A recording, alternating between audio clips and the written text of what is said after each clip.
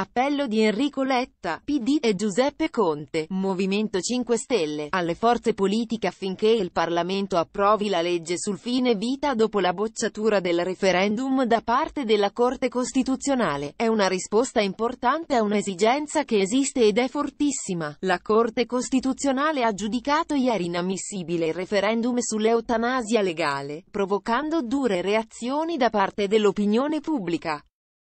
La palla però, a questo punto potrebbe passare al Parlamento, con l'approvazione di una legge ad hoc sul fine vita. A spingere in questa direzione sono soprattutto Partito Democratico e Movimento 5 Stelle che, attraverso i propri leader, hanno fatto un appello alle forze politiche affinché su questo tema continui il dialogo. Noi vogliamo assolutamente che la legge sul suicidio assistito vada avanti ha dichiarato ai microfoni di fanpage.it Enrico Letta, segretario del PD.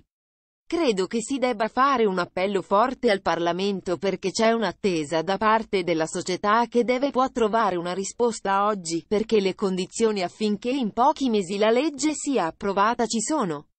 Gli italiani si aspettano che il Parlamento non si fermi e non chiuda gli occhi. È una risposta importante a una esigenza che esiste ed è fortissima.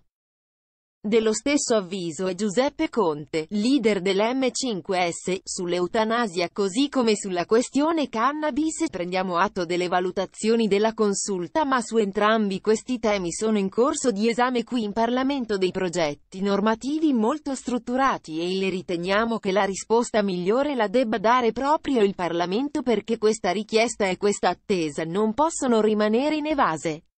Il Parlamento deve assumersi questa responsabilità.